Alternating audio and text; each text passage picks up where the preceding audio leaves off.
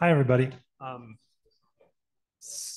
uh, with the screen, do we advance the slide or do you switch? Great, thank you very much.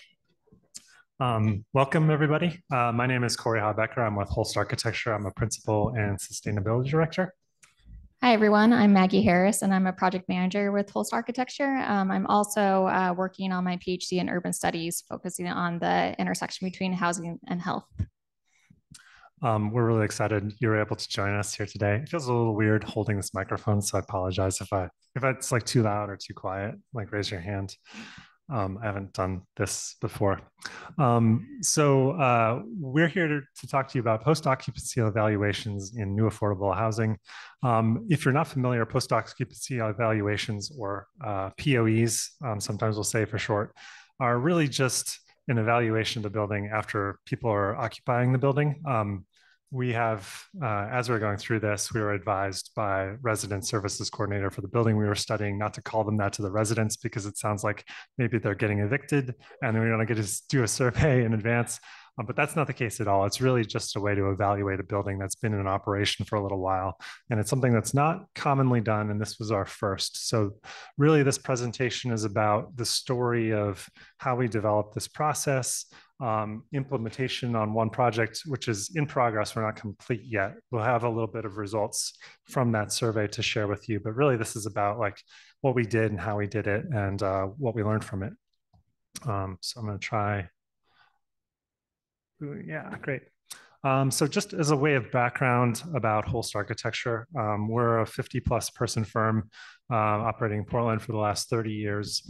Um, we had done quite a lot of multifamily uh, market rate work, but I would say in the last 10 to 12 years, a lot of that focus has shifted to affordable housing, affordable housing with services included. Um, we have uh, seven ground up projects and I think six renovations completed for, uh, which include about 860 units total. Um, and right now we have, to my surprise, we have 11 projects in various phases of design and construction, um, which are, you know, constitute well over a thousand additional units. Um, over the last uh, five to seven years, Holst has gone through a lot of changes and done a lot of sort of introspective work about how we work as a firm and the kinds of work we're doing and made a lot of improvements internally. Um, coming out of the pandemic, we went through a strategic planning um, initiative. And one of the imperatives we came out of that with is uh, more to be more serious about looking at our work, both in the design phase and looking back at our work after it's completed with a sort of data mindset, looking at like actual um, results. And part of that is to complete the post-occupancy evaluation and to, to make that a thing that we do more regularly. It's not commonly done in architecture. Um, for us, the margins are thin and time is short. And so looking back at a building that's already done and nobody's complaining about is a little hard to justify and owners don't want to pay for it. So it's something that we really took upon ourselves to do um, pro bono, just so that we can learn from successes and failures in a project. Um, so I think, yeah. Um, before we get into the actual POE, I wanted to talk a little bit about um, some of Holst's design um, values because I think it we use those to directly inform the kinds of things we were looking at uh, when we conducted our post-occupancy evaluation evaluations. Maggie will talk about this later, but there's all kinds of different ways you can look at a building, like very quantitative or qualitative, and we took more of a qualitative approach. Um, so our design principles listed here, and I can barely see this, um, uh, worth and value. Um, you know, we strongly believe that all of the occupants and residents of the building um, have inherent dignity, dignity and the buildings should reflect that and support that. Um, and none of these are really controversial. I just want to kind of get those out there on the table. Um, community connection. I think architecture has the power, and architects have a responsibility to make spaces that build or provide a foundation for the for development of strong communities. Um, creating activated and welcoming spaces, certainly everybody will get behind that. Um, housing is healthcare is an interesting one. Um, it's known that you know people with housing instability and people who are chronically unhoused um, suffer more greatly from a variety of health maladies, um, and whether it's because they have health issues that they're you know have housing instability or vice versa because of our messed up system and how people are accessing healthcare um, is a little bit of a chicken and egg thing. But what is known is when people secure stable housing, their health outcomes improve. So um, it's important that we get people in housing. Um, inclusive design is really kind of is really related to um, uh, worth and value and community connection, which is, you know, regardless of your background, um, you are worthy of good housing and uh, you're worthy of a dignified place to live. Trauma informed design is the last one. And for that, I have an additional slide, so kind of bonus slide. Um, so it's something that uh, we became very much aware of working on a drug and alcohol treatment center, which was completed uh, a year or two ago. Um, that certain populations have you know have experienced trauma in the past are particularly sensitive to kind of their surroundings um, and aggravation of that trauma. And as that relates to affordable housing um, it's becoming more and more important because the populations that we're trying to house are more and more compromised.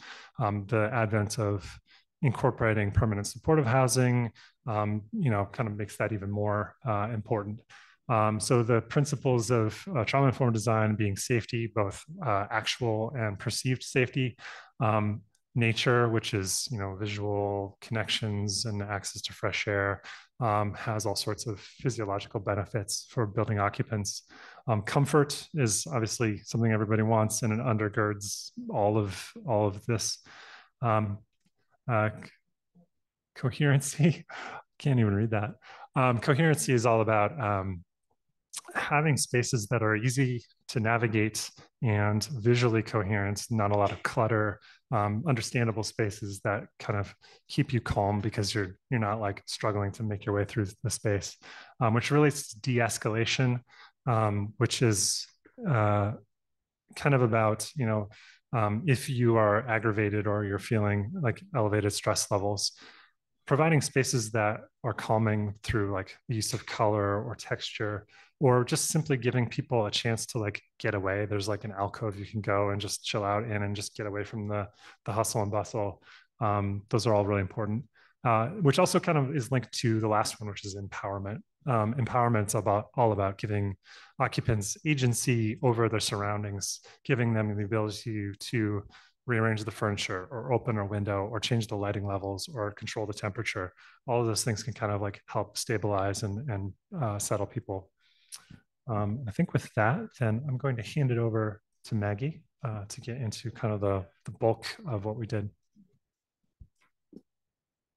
all right great thanks um, all right. So, knowing that the principles that Cory just went over guide our uh, multifamily design process, um, really what we want to do in the study is to gather insights into whether the actual res- resident experience uh, aligned with our intent. Um, so we, we looked at all the principles that Cory just discussed and distilled them down into three primary themes, which are health, well-being, and connection. Um, so it's through these themes that our post-occupancy data took shape. Uh, we want to note that for the purposes of this study, we've defined health as the indoor environmental quality that might affect a resident's physical health. Uh, well-being is referring to how the building might be affecting a resident's mental state uh, by influencing the stressors in their daily lives. Um, and lastly, connection takes into account the building's accessibility, both from a physical and social perspective. All right. Uh, since our research predominantly focuses on um, the resident experience through the health lens, uh, I wanted to build upon what Cory had mentioned previously and share some background on the greater research on housing and health. Uh, so, research demonstrates that housing stability and health stability go hand in hand. Uh, substandard housing can expose people to a wide range of health and safety risks.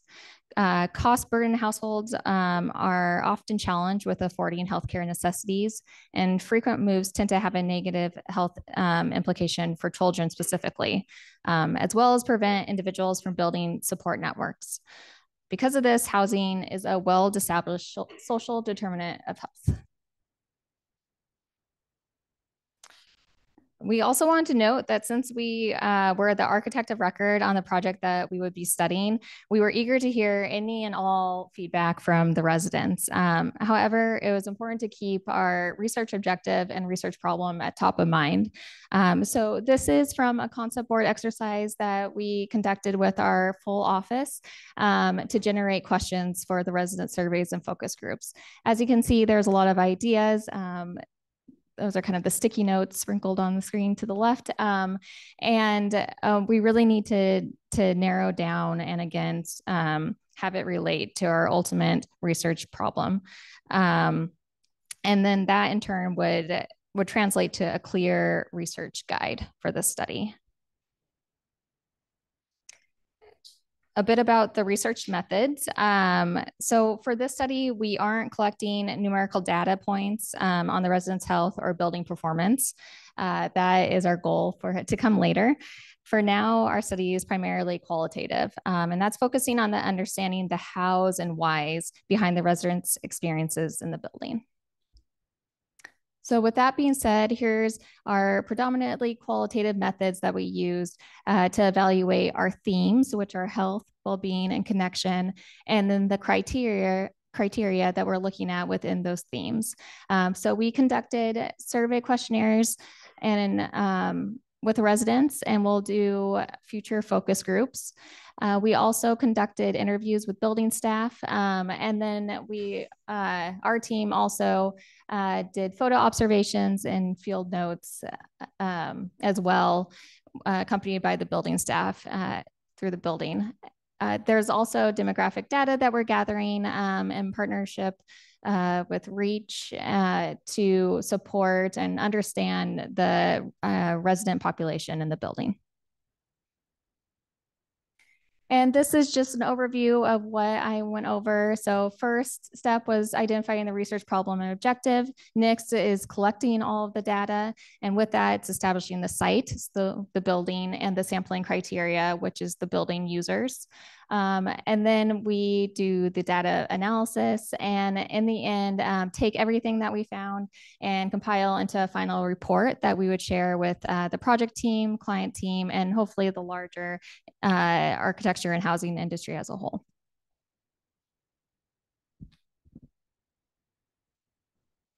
All right.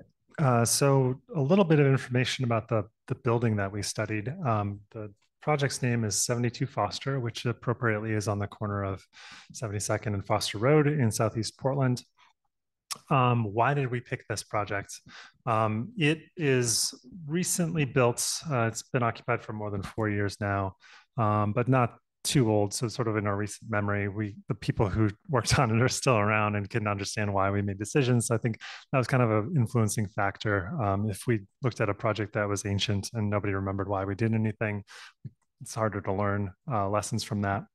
Um, the other, I think, important point was that the the owner reach community development was really enthusiastic about when we approached them about doing this um, which is really critical and we'll explain a little bit more why why but um, it's not an insignificant commitment of their time to this. You know we weren't charging or anything like that but it requires dedicated staff time from there from them to you know communicate with us to sit down for interviews to walk us through the building to help us communicate with residents. So their enthusiasm was really um, really was helpful.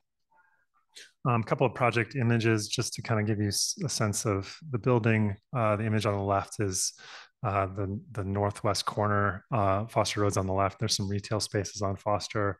Um, the upper right image is the building lobby where you can see the mail, the entrance, um, and the spaces kind of on the left are uh, resident services. And the bottom right image is a um, community room for the residents' use. And hopefully you can see this well enough. It's a little bit light, but this is the floor ground floor plan.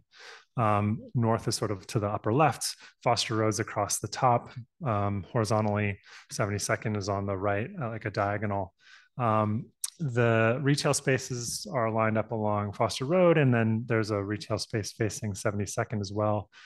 Directly across the street on 72nd is the Mercado, um, which is kind of a, a, a hub of a fixture of the community. To the lower right or to the lower left, I'm sorry, um, is uh, a cul-de-sac, which is um, Raymond Court. Um, and that had been used historically by the neighborhood as sort of an outdoor community space. Uh, it's a dead end, so you know kids would play out there, and things would be things would be happening there. And so it was imperative on the design team not to ruin what they had. Um, so there's uh, on-site parking, both tuck under and surface, um, which you know, like first impressions is you might have driveway access off of that cul-de-sac, but to preserve what they had going there, drive uh, vehicular access is off of 71st and 72nd.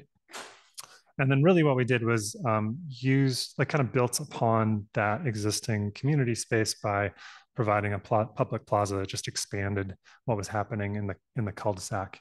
Um, the other key thing about this is the connector through sort of diagonally to the where the Mercado is um, that connected that public outdoor space inside of you know the the crook of the L of the building to the Mercado. There's a visual connection, a physical connection. You can walk between them. Um, the other, the only other thing to note, I think, would be the the and this will come up a little bit as a result in our research. There's a stair. Does this have a pointer? Ah, it does. Oh, that's not, not strong enough. All right, so I'll try to verbally describe this. There's a stair along Foster Road, sort of in the middle of the elevation there, and then another one on the lower right-hand corner, um, which I will advance the slide so you can see where those fall upstairs. So this is a typical, this is actually the fourth floor, which is a little different than the other floors, but this is the gist of all the the, the other floors. So it's I, I, neglected to mention it's a concrete podium on the ground floor with retail, and then up above is three floors of wood framed housing, 101 units total. Um, so double loaded corridor. You can see the stair kind of falls uh, uh, where that along the top of the drawing where there's a, a jog, and then in the bottom right hand corner, it's a bit away from the that that that end elevation um, so essentially, you know, stairs at either end of the corridor. The elevator is lined up with a lobby, which is at the crook of the L. Um, there's a pair of elevators. On the fourth floor, there is a lounge space and a balcony space. Um, so I think uh, the only other thing to mention would be kind of the unit mix, which is pretty heavy on two and three bedrooms, um, which was uh, imperative for Reach. They were really interested in having a very intergenerational community with lots of um, be able to accommodate larger families. Um, so one of the, I did want to talk a little bit about who we were able to engage with through our surveys, our questionnaires rather. Um, and uh, as Maggie mentioned, the plan is to do focus groups with some of the people who participated in the questionnaires, but that hasn't happened yet. But in terms of the people that we were able to get responses from, a pretty wide variety of age, ethnicity, and gender. Um, we're working on getting the actual demographic information for the building to see how representative this is, but it does feel pretty representative. Um, and then in terms of, uh, yeah, some other demographic information about people, whether, you know, they need mobility equipment or not, uh, their occupation and how long they've lived there. And I think the third one, how long they've lived there is really pretty key. We've got good participation from people who have been there quite a long time. Some 28% of the uh, respondents actually have been there essentially since the building opened. Um, so a lot of experience there. Um, the other thing that we did, um, again, sort of qualitative data, was interview Reach staff. And this is where I was talking about how Reach's enthusiasm and participation was so critical. Um, they gave a lot of their time, actually. Um, the community manager, the resident services coordinator, and the building maintenance uh, individuals, uh, all people who have dedicated time in the building, um, but also gave us a lot of their time and walked us through things. Um, and I think the thing, you know, we got a lot, a lot from that. Um, the thing that was really, uh, I think, interesting about those interviews were where they were able to kind of illuminate and um, build upon survey data. So um, I think that it really helps with our depth of understanding of the survey results. And I expect that when we conduct the focus groups, that'll further amplify that, that kind of synergy. Okay, next, data analysis. All right, so a bit about the data analysis, and we're still in the process of analyzing the data, uh, but we want to give uh, kind of the a glimpse of what we're finding so far. Um, so this has never been seen before data. uh, so the first one falls under a theme of health. Um, and the question uh, for this was how do you rate your comfort in both your unit and the common areas? Um, and so we started to try to tease out the res- residents uh, perspe- perception of the indoor environmental quality within the different building spaces. Um, what we found interesting at um, with this particular set of results is that you'll notice that um, the majority of the feedback for the units versus the common areas are very aligned. Um, what stands out is that there's some orange, which is the worst um, in the temperature for the units. Um, and that's because there's central AC in the community spaces, um, but not in the units. Um, so each multiple choice question like that um, that I just showed was accompanied by a short answer opportunity for the residents to share additional thoughts. Um, and so these are some quotes that we pulled from those short answers and really help us uh, start to understand the why behind their feedback. Uh, so the next question relates to the theme of well-being. Um, and for well-being, we centered a lot of the questions around safety, since safety is a primary stressor in many people's lives. Um, for the areas where the residents had the lowest confidence in safety, we found it was due to heightened theft and incidents um, around the exterior of the building. Um, and unfortunately, these incidents, um, as I'm sure we're all aware, are not isolated to only 72 Foster. Um, so what we found is that the residents' perception of safety reflects the trend of increased issues that many multifamily buildings are experiencing throughout Portland. Um, and this feedback, um, although we're all um, aware in the back of our minds, it really opened up our eyes as designers um, to making security and the feeling of security and safety for the residents in our buildings um, a forefront of our design priorities.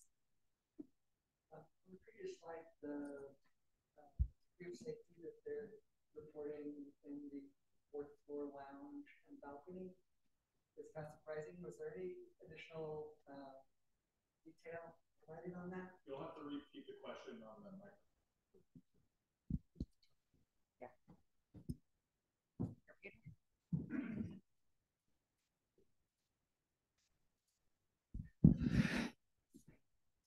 The question was the degree of safety experienced in the fourth floor lounge and balcony are in the 50 to 54% range, which is surprisingly low, you know, to me.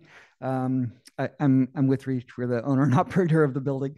Um, and so wondered if you got any more specific feedback on that. Uh, as far as I know, we don't have specific feedback uh, because we would have to get that from the written inputs, and I don't recall seeing anything like that. This is something that we need to follow up with in the focus groups and kind of ask follow up questions to find out why. I know there were, and we have a slide that covers this, but there were reports of people kind of behaving badly with the furniture on the balcony. Um, so it could be related to that. Anything else to add there? Uh, no, I think you covered it. All right. And for the last theme, um, we looked at uh, the residents' sense of connection to each other. Um, so we asked how often they socialize with their fellow residents and the community and the building staff. So here's a snapshot of that data. Um, and then oh, Um, we also just asked a simple question about what areas in the building each resident uses. Um, and so questions like these would really be beneficial to elaborate on um, in our focus groups and for residents to explain firsthand um, any barriers that they may have um, or that may be preventing them in using the spaces.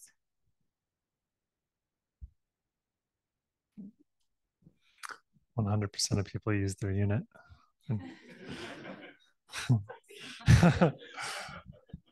um, so uh, we like as um, Maggie was saying, and and I was saying, we did do walkthroughs with building staff and took some uh, observations and uh, took some photos.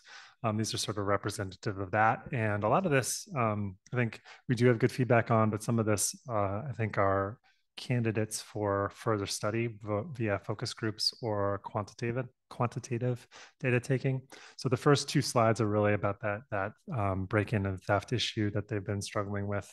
And again, it's it seems to be endemic across the city now, where you know people are just looking for any opportunity they can to break in and either sleep or steal or um, it's not really specific to reach or this building or the neighborhood it's just happening everywhere um, so I think that's food for thought for us in terms of how we can make the buildings more secure. But also, you know, in a design sense, you don't like creating a bunker looking building is not something anybody wants. So we try to find a balance there. Um, the third image uh, from the left is uh, right outside the main lobby entry. Uh, there's a built-in bench there. Um, it's right at the intersection of Foster Road and 72nd at the corner there. Um, in the design process, we envisioned that as a place for people to like sit and wait for a ride or sit to let, you know, as their friend came downstairs to let them into the building. Um, and it sounds like that's not really used that way. And uh, so I'm curious as to why there's a comment there about it not being visible. Um, but it's, you know, it's pretty, it's right there at the corner. So um, I was wondering if that's related to visibility from the inside or the outside or, you know what, we just want to follow up on that. Um, and then the, the, the fourth image over was something we heard quite a lot, which was um, as I mentioned before, when we are showing the floor plans, the stairs are at the ends of the building and not uh, coming down to the lobby. And uh, th the way that Reach operates the building for security purposes, everybody comes in through the lobby. They can leave through the stairs, but they come th in through the lobby, which we provided um, two elevators for redundancy purposes um, and thinking that they would be reliable enough. But off, it sounds like it's pretty frequent that both elevators are down for one reason or another. Um, and if that's the case and people are coming into the lobby, they don't really have a way to get upstairs, which is a significant problem, um, more so than we ever uh, imagined to be the case. And, you know, obviously the reason not provide, provide a third stair, there's good reasons to do that.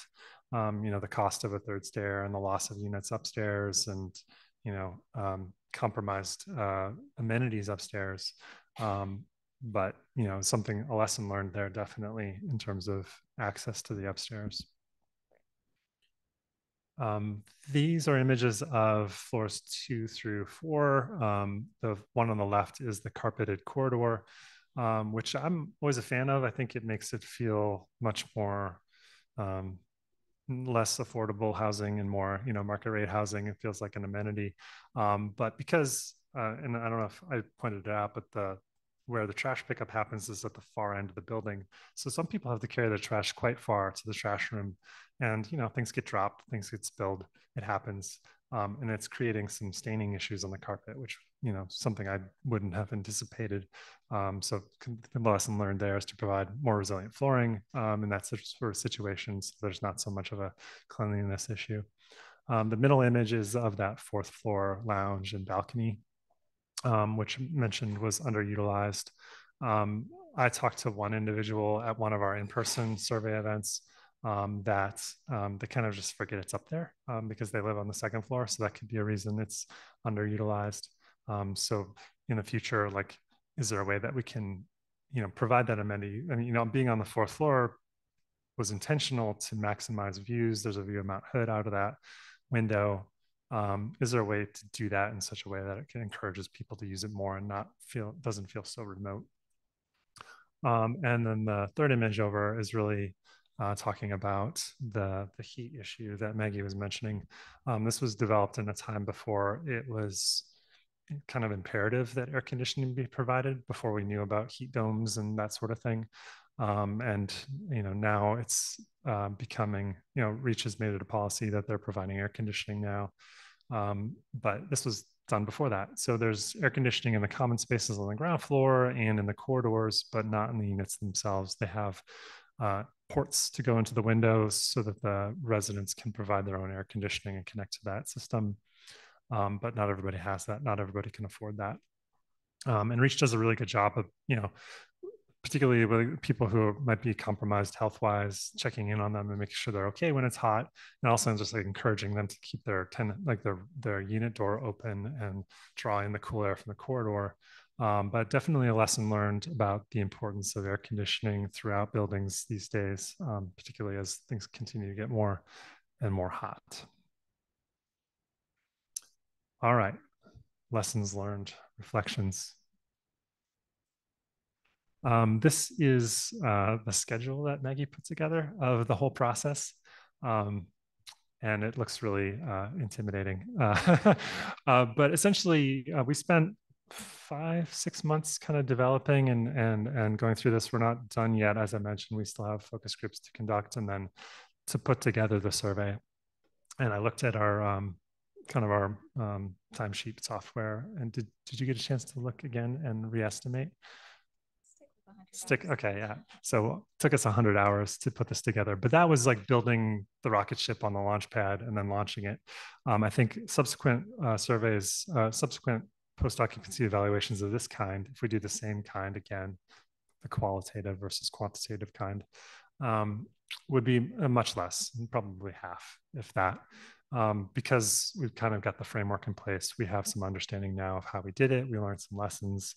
Um, I think you know subsequent POEs we probably look for new ways to do things, um, more efficient ways to do things. But really, it was a not insignificant amount of our time, and there were. And Maggie will talk about this too, but there were financial outlays as well in terms of um, providing gift cards for survey respondents and meals and things like that um, to kind of compensate for them for their time, which was not, you know, not a huge amount of money, but there was something there. Um, the second lesson was the importance of communication. Check my notes and make sure I don't miss any components of this. Um, we did um, both online surveys and in-person surveys. Um, we did it via QR codes. We did it via digital newsletter. We did it via paper flyers taped to doors and taped in the lobby. Um, really tried to maximize the reach of our, um, you know, communication with the tenants. And again, it was really critical that reach was participant in that. They were able to um, let us know like the kinds of languages spoken in the building so we could provide, you'll see like the QR codes across the bottom of that. So that was like a flyer we printed out. Oh yeah, go ahead.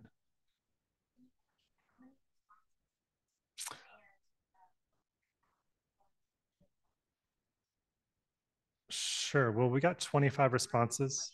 Oh, yeah, I'm sorry. The, the question was, thank you. Um, the question was, can you give us a breakdown of how many respondents we got and um, the methodology in which they responded in terms of like paper versus online? Well, we got 25 responses out of the 101 units. Um, it was by unit, um, which we feel really great about. Do you call like the breakdown? Of in person. 13 in person, the remainder um, digital.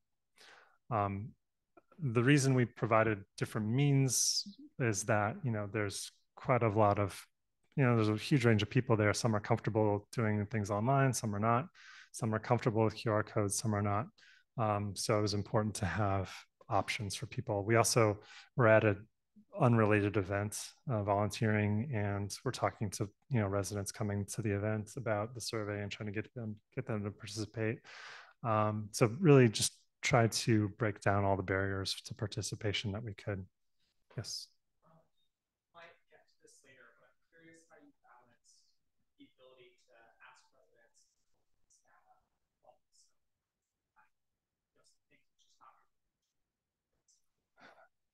Yeah.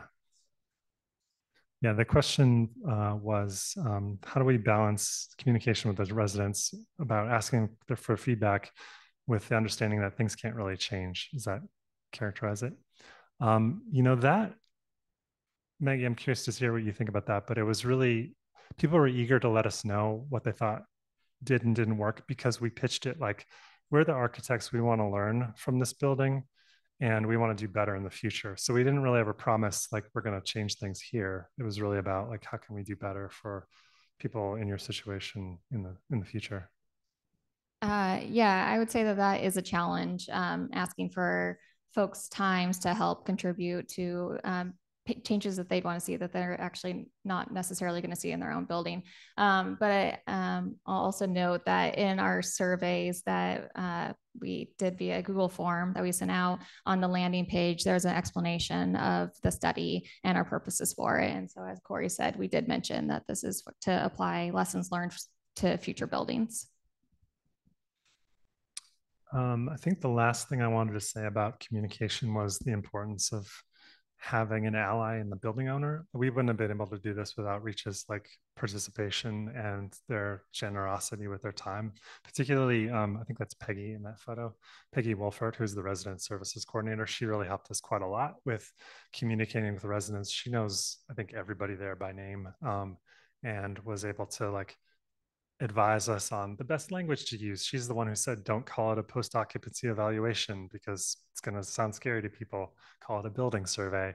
Um, and gave us a lot of advice in that way. And she uh, helped with the translations and all that sort of thing. So having um, a good ally in the building was really critical.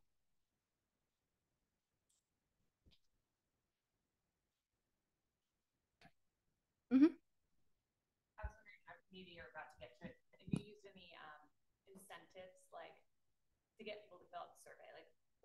pizza, mm-hmm. you know. Yeah. Uh, perfect timing. So, uh, yeah, compensation. So, we tried to follow the Institutional Review Board guidelines for fair compensation. Um, and so, that's just based on, there's really no hard and fast rules for compensation on what's right. It's just based on the particular population, the research activity that you're asking them to participate in, um, and the time commitment. So, um, for um, so we offered gift cards for any of the survey participants. Um, and then for the in-person survey night that we held, um, we also offered a dinner. And this came from, um, we, you know, we were kind of like, well, if we're doing gift cards, do you need to provide dinner? And um, Peggy, who Cory was just uh, referencing, said something along the lines of, you must acknowledge that you're coming into someone's home and asking them to help you do something. Uh, so if you hold an event at night at their home, make sure to offer them dinner for them and their families. Um, so that was really good perspective and advice to keep in mind. Um, and then for uh, the consent, um, we at the beginning of the survey forms, uh, we asked everybody to um, acknowledge that they're 18 years and older and understand that the data would be collected um, in the study and distributed. Um, and as I mentioned before, this is through a Google form um, that worked quite well for tracking all the data. And then we also ensure that um, everybody's names and unit numbers or any identifying data what um, that we collected was discarded um, from any of our data tracking spreadsheets or archives.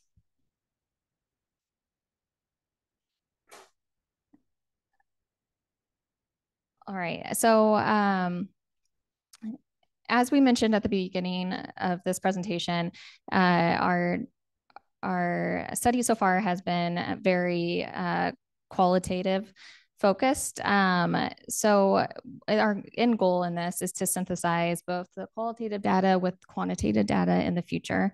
Um, but we first started with the qualitative data because we wanted to understand the resident perceptions and use that as our basis to further our investigation um, into the resident responses and the actual building performance itself. Um,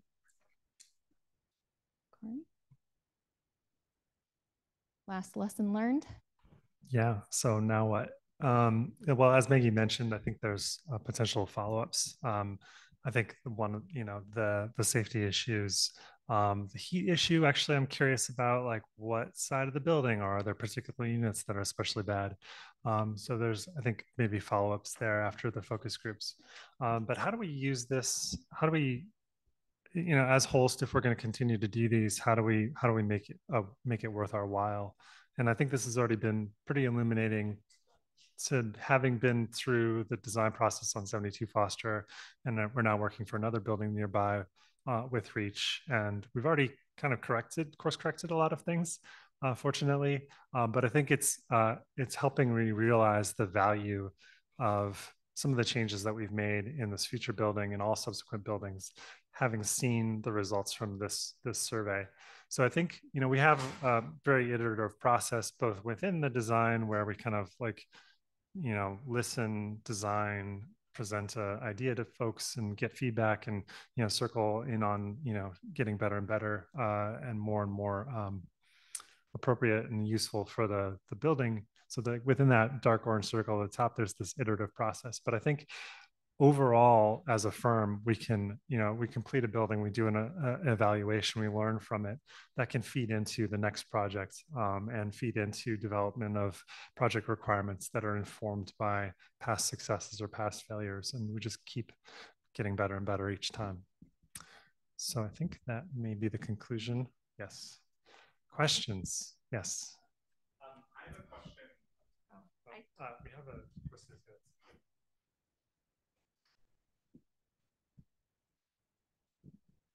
So in your last diagram, um, I think this is typically how, as designers, we've seen post-occupancy work that we look forward to the next project. And I'm curious now that you've taken the sort of idea of doing post-occupancy surveys and you're synthesizing a report, do you have any plans on sharing this information from a policy and legislative making effort? And I, I bring that up because of the the thermal comfort item, because actually historically, like the issue has been financing, right? Like that developers can't afford it. And um, in the past years, we've seen OHCS change their policies, and then it really became a requirement. And that's really when we start seeing it. But then you also see additional financing opportunities and funding opportunities to support that. And so I do think that as designers, I, I think you had mentioned this earlier, like there is a limitation to what we're able to achieve and respond to, and that at some point it becomes policy and legislation. And I am just curious if, since you are formally doing a report, if there's any plans for that.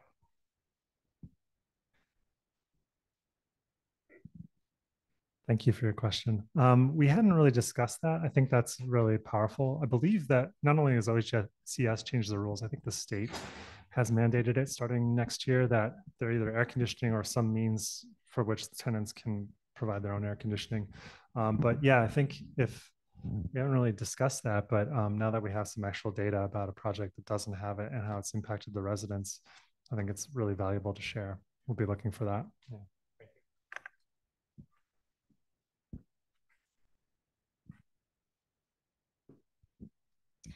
Uh, thank you so much for doing this. I really think it's really valuable.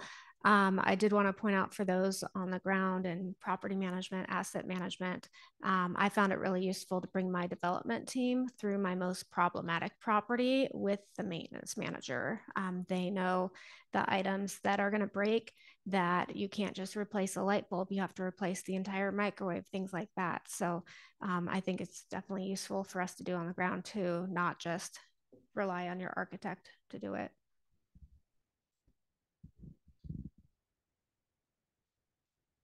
I don't think there was a question there. I think it's a good statement though.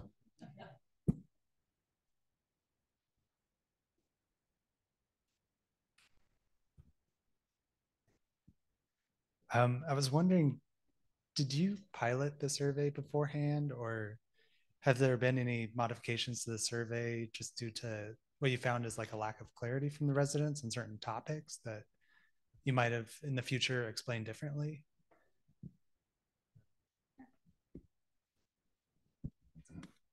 Uh, yeah, so we haven't made any modifications for the survey that we distributed uh, because we wanted to keep it, it all consistent. Um, so uh, I think now is a great opportunity. Now we're looking at everybody's responses to make those changes for future POEs. Um, but I'll also add that when looking at the survey, we previewed it before publishing um, and just the order of it and the graphic components of it. And so just making sure that there weren't a ton of multi uh, multiple choice questions next to each other or you know at the end having people seem like they're writing an essay and we found that um, things as simple as the order really matter and help people um, uh, fill out the survey. Um, I did want to add that one of my curious curiosities in the focus groups is to ask about the survey and see if people had particular trouble with it. I think because we didn't dry run it on somebody um, outside the office, we don't quite know yet. Um, you know, if a particular question didn't get a lot of responses, is it because of the way it was worded or it was getting towards the end? You know, those sorts of things I think are going to be interesting to to find out about.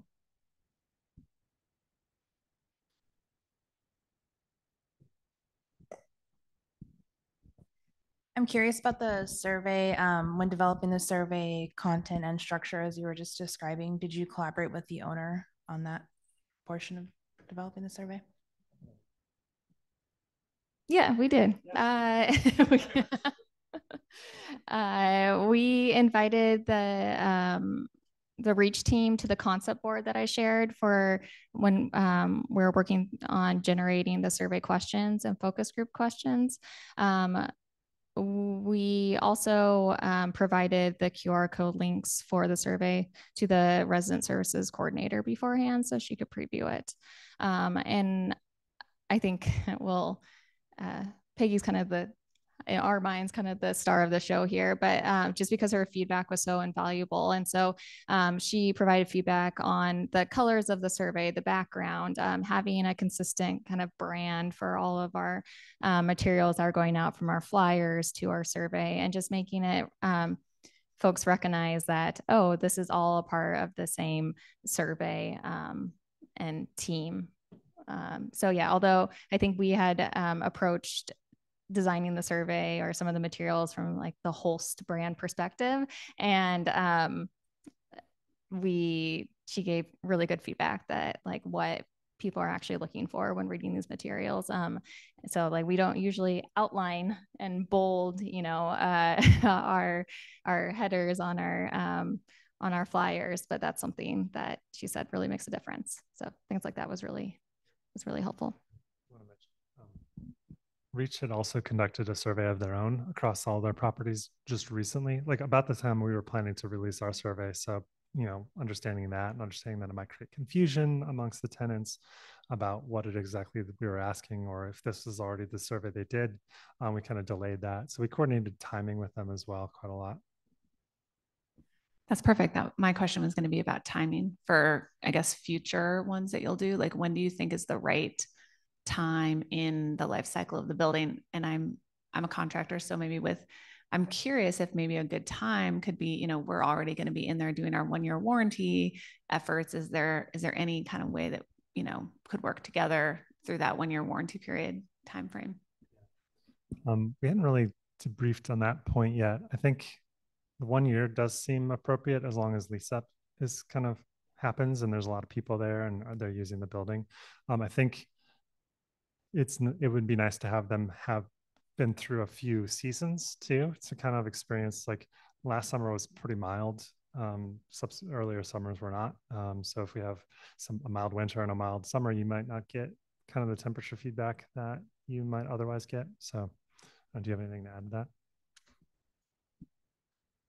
I don't think it's a direct um, or directly related to your exact question, but I just wanted to note for the survey um, and focus group timing that was also a consideration just in conducting the actual study. Um, so we when talking with the um, reach building staff we had noted summer surveys and fall focus groups and in our minds i think and when we put together that original schedule it's like okay, three weeks for the survey. And then right after that, focus groups. And we, again, had to take a step back and realize that we're asking for people's time. And that's a big commitment to fill out a survey and then go right, you know, dedicate an evening to a focus group. And so um, you have to be strategic about that as well.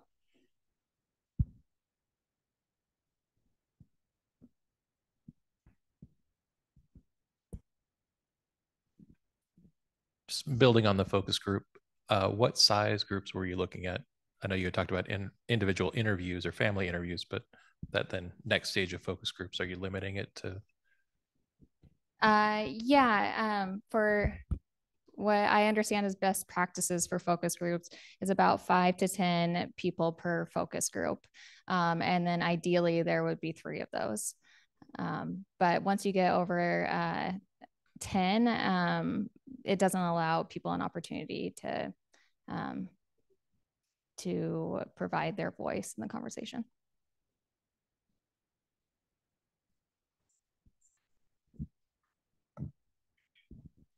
Uh, since you brought up and you're talking about the focus groups and all this afterwards, who are you bringing in on these conversations? Who's reviewing the data? Is it just you and your owner, like Reach, or are you bringing other people from the project team who were like who went through the entire project with you? Are you guys all meeting back up as a whole and now looking at this data um, to see what you did different, or is it just kind of like a what you guys are bringing together? Yeah. make sense? Yeah, it does. Thank you. Um, so far, it's really kind of just Maggie and I. uh, we're still in progress. Um, I have shared it with some people on the project team within Holst um, because they were curious. Uh, we haven't really like fully digested everything um, into a report, but once that's complete, we're certainly going to share with Reach um, and uh, probably make it available publicly as well, as long as we have their okay. Does that answer your question? I feel like I maybe missed part of it.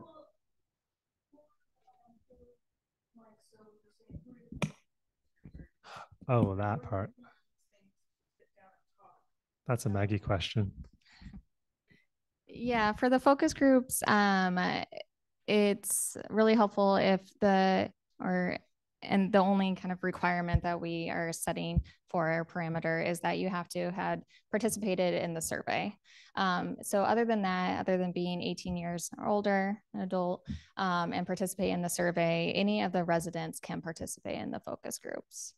Um, it's great to get a, within the focus groups, get a diverse group of individuals. Um, so different ages represented, different, um, just a diverse group of identities. Um, but really, I would say the more participation, the better. So that's really the only parameters.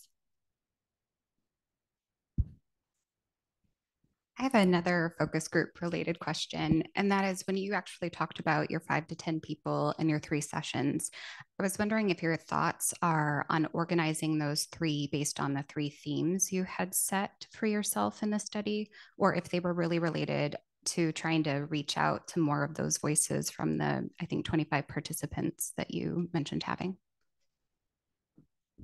Yeah, that's a great question. And um, I'm not sure if we know the answer to that yet.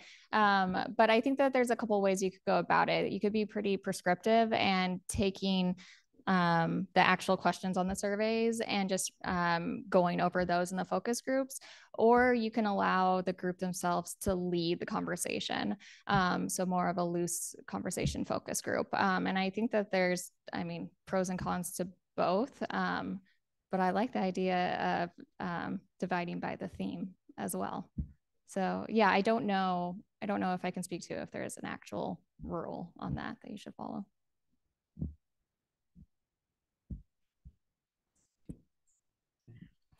I actually was wondering if either or both of you were on the design team or not. I was.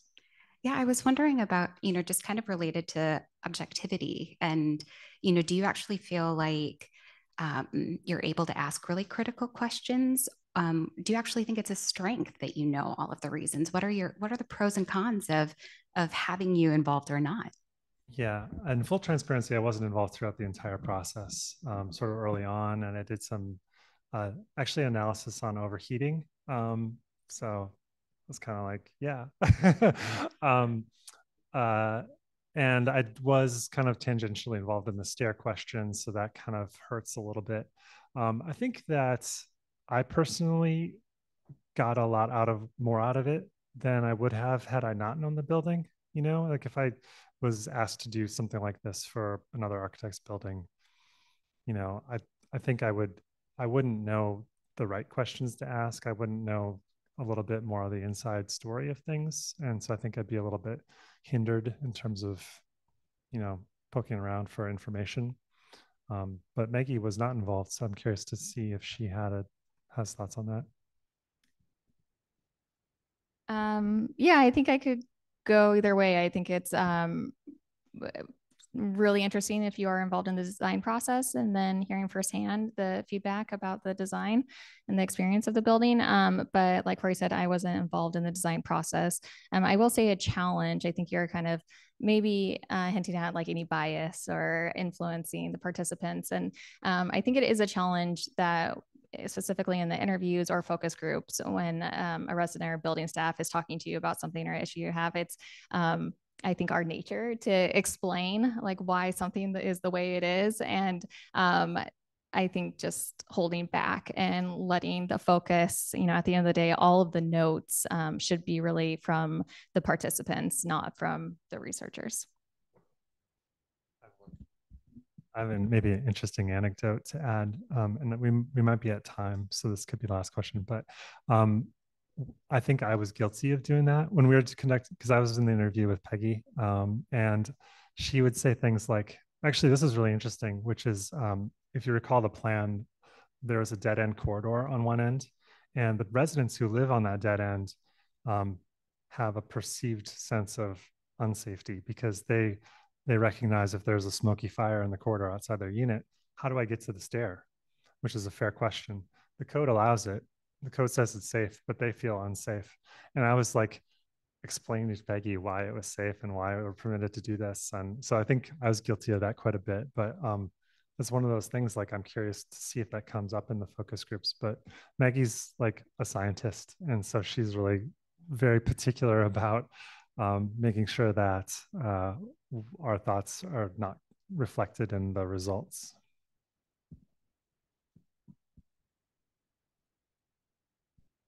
Any other questions?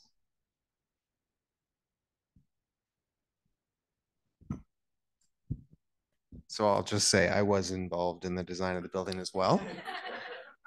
Um, but one of the things that they said at the beginning was the strategic planning we did as an office. And um, we have a whole new crew of folks that have come into Holst that have energized us and questioned us and made us rethink our assumptions about what design is, who we're serving. And um, I got to say, I was it was hard for me to hear that we were going to do this research, and I you know I don't like being questioned, and I had a lot to do with you know all the decisions on all those projects up there, and I like to think that they were the perfect answer. And um, but this new this new generation that makes me feel very old, um, I think gives me hope. It gives me hope that we're we're willing to question ourselves and to improve.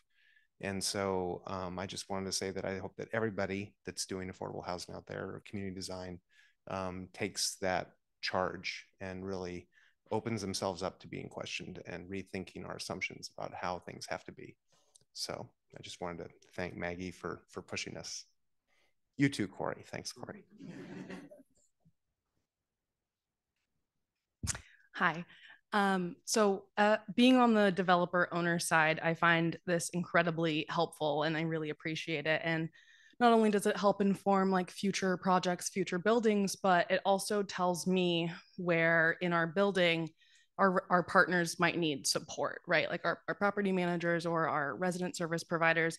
And obviously there are some things that you can't change. You can't blow out a couple units and put a stairwell in the lobby but you can do certain things um, through partnership with those you know key on-site folks to activate different spaces provide a better you know sense of safety um, more of a sense of community. And so i'm wondering for you if you see any benefit in sort of having property management and resident services play a little bit of a bigger role in the survey and focus groups and in a way that's not just you sort of um, interviewing them and getting their feedback, but also getting an idea of what can we do to improve this situation. You know, it would be great to understand if residents aren't using the fourth floor space, is property management doing anything to encourage that? Maybe they host an event, maybe they, you know, do whatever that may be.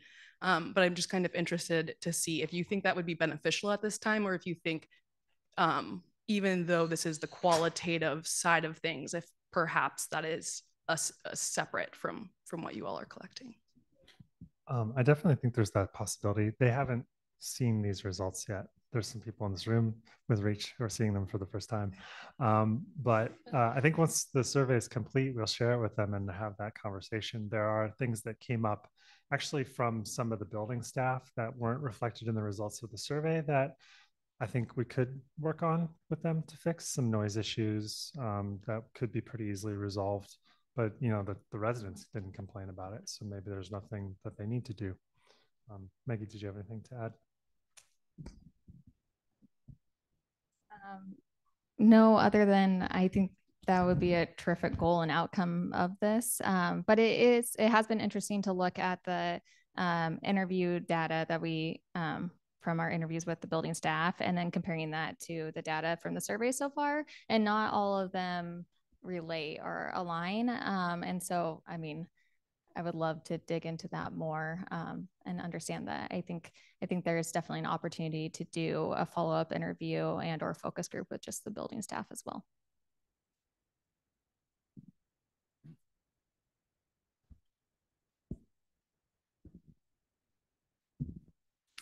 This may dovetail with what you just mentioned, but I'm I'm curious. It sounds like most of the the post occupancy evaluation work that you did was kind of focused on larger themes and uh, resident experience, safety, comfort, et cetera, et cetera. Um, but I'm wondering if through any of that process, you also got feedback on maybe more detailed things that are easier to change uh, or or even just influence future designs so you know maybe something uh, uh, i'm thinking from you know an asset management or uh, or even a development lens of we should use this kind of carpet instead of that kind of flooring or we should use this kind of countertop instead of that. I mean i think those are some of the decisions that that are a little bit more kind of project by project, easy to evolve, uh, or maybe as a, a, maintenance or asset management lens to change out uh, when it needs to be replaced. And I'm curious if any of that feedback tended to come up, uh, or if you were a little more higher level. Um, we did hear a little bit of that from the building mains folks. We also hear that, you know, we're, like I said, mentioned, we're working on a project with Reach right now nearby. Um, they're building maintenance folks and building um, asset managers are well aware of kind of what works and what doesn't. We didn't really hear that too much from the residents in terms of like, oh, my countertop is disintegrating. It was more about bigger picture stuff from them, um, but we did hear about it from building staff.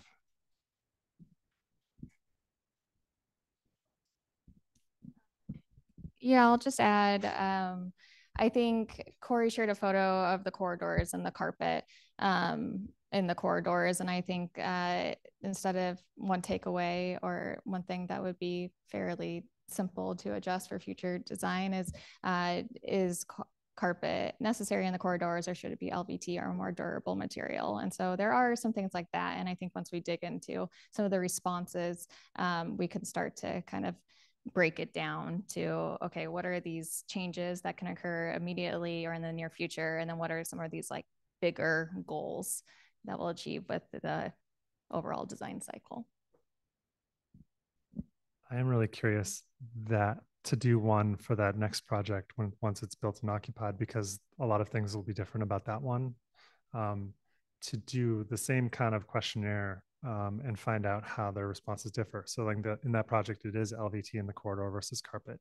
There were, I don't know if you recall, but there were some sound complaints uh, in 72 Foster. I think mostly related to sound between units, but I'm curious, like, will a hard surface in the corridor result in more complaints about sound coming from the corridor kind of thing? So we'll find that out in five years, six years. it's a slow process.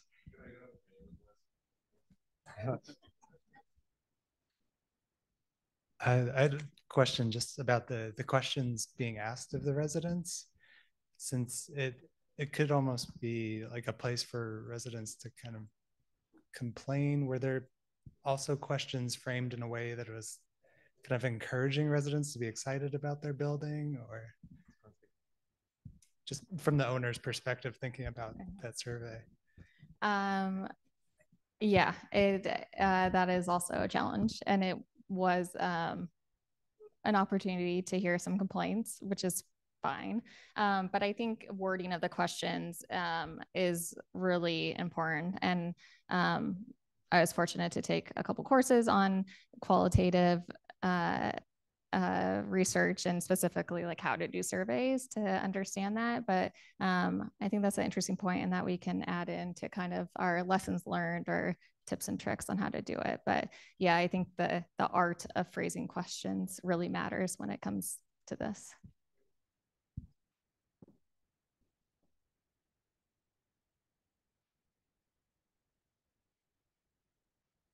Right. Cool. Great. Thank you all.